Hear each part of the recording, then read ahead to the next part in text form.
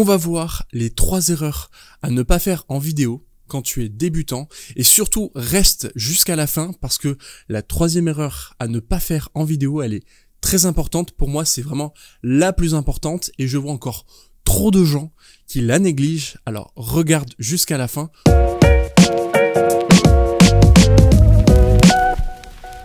Bienvenue à toi sur cette chaîne YouTube. Je suis très heureux de t'accueillir aujourd'hui et de reprendre les vidéos. Si tu me connais pas, je m'appelle Aurélien Ibarart. J'accompagne les entrepreneurs et entreprises à utiliser les outils de la vidéo pour développer leur communication avec un rendu professionnel. Donc, comme je te le disais, on va voir trois erreurs à ne pas faire. Les deux premières erreurs, elles sont beaucoup plus psychologiques et vraiment la troisième erreur, c'est vraiment une erreur technique. Et tu vas voir dans les prochaines vidéos que, que je vais faire et qui vont sortir, on va aborder aussi tout ce qui est plus technique. Et d'ailleurs, abonne-toi à la chaîne YouTube pour ne pas louper les prochaines vidéos qui vont sortir. La première erreur, c'est de penser qu'il faut être parfait pour se lancer dans la vidéo. Imparfait est mieux que pas fait. Moi, le premier, quand j'ai commencé à faire des vidéos, c'était il y a un petit moment maintenant, c'était il y a peut-être 7-8 ans. Les vidéos, elles n'étaient pas parfaites. Encore aujourd'hui, elles sont pas parfaites. Pourquoi il y a autant de vidéos sur YouTube où il y a des coupes? Alors certes, ça dynamise la vidéo, ça c'est sûr, mais il n'y a pas que ça. Il y a aussi parce que le fait de créer des coupes, ça permet d'enlever les imperfections. Mais de base, ces imperfections, elles sont là. Les, les, euh, les, tous ces petits bruits un petit peu parasites, elles sont là. Moi-même, je les fais. Tu verras que sur mes vidéos, il y a plein de coupes. Certes, comme je te disais, ça dynamise la vidéo.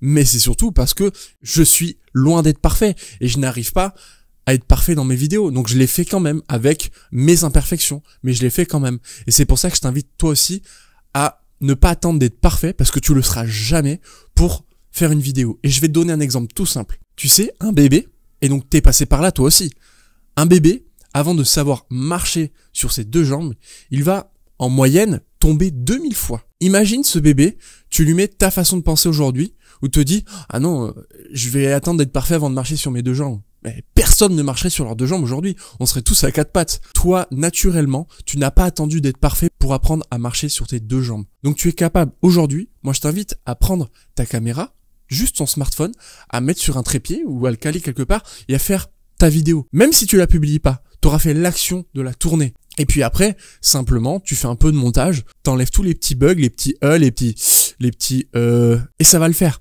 Donc, n'attends pas d'être parfait pour faire ta vidéo. Fais-la avec tes imperfections. Imparfait est mieux que pas fait. La deuxième erreur que je vois trop souvent, c'est de penser que tu vas réussir à faire justement ta vidéo d'une traite. Ça rejoint la première erreur et pourtant je vois encore trop souvent aussi des gens qui se disent ok euh, je vais faire la vidéo d'une traite comme ça ce sera fait et puis on sera tranquille. Non c'est pas possible. Enfin il y en a qui arrivent mais finalement quand tu regardes un peu YouTube il y en a pas beaucoup qui arrivent à faire d'une traite. Moi le premier je n'arriverai jamais à faire une vidéo d'une traite. Alors oui euh, quand j'ai mes pensées qui me viennent quand j'ai une idée de vidéo qui me vient je vais pouvoir euh, moi j'ai tendance à à me visualiser en train de la faire. Donc je vais parler, je vais bouger comme si je la fais, et là c'est fluide. Mais dès que je me retrouve devant la caméra, je n'arrive pas d'un premier coup. Donc c'est ok de pas arriver à faire sa vidéo d'une traite. Et c'est là aussi où la joie et la magie euh, du montage vidéo est là pour justement enlever ces petites coupes, ces petits moments où tu as recommencé. C'est pas grave, c'est ok.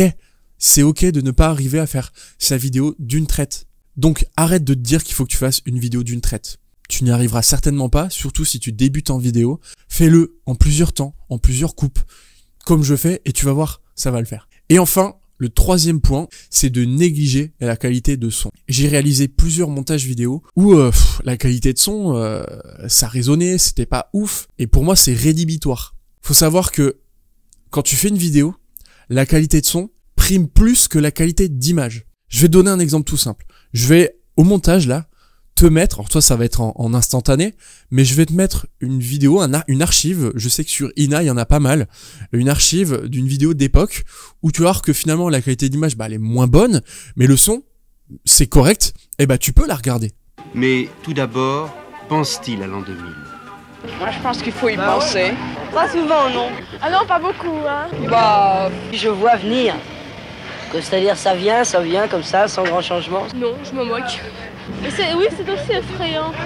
Maintenant, je vais te donner un autre exemple. On va garder ce même cadre, d'accord? Mais là, au lieu de, de, de, te mettre le son euh, de mon micro, je vais te mettre le son de ma caméra.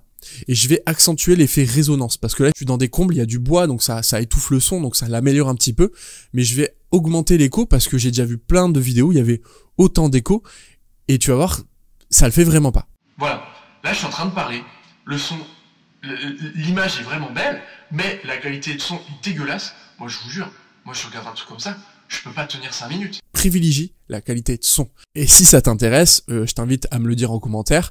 Euh, est-ce que ça t'intéresse que je te donne euh, des astuces pour justement améliorer sa qualité de son, que tu filmes avec une caméra, que tu filmes avec un portable, quel micro prendre, que faire si on n'a pas de micro? Voilà, je peux te donner des astuces pour améliorer la qualité de son. Donc si ça t'intéresse, dis-le moi en commentaire.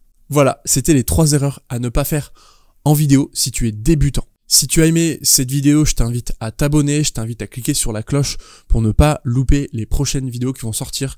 Moi, c'est un réel plaisir de revenir sur YouTube, de te refaire des contenus vidéo pour t'aider, toi, euh, qui, est entrepreneur, qui est, qui est une entreprise, à développer ta communication et justement à développer une communication qui est beaucoup plus professionnelle.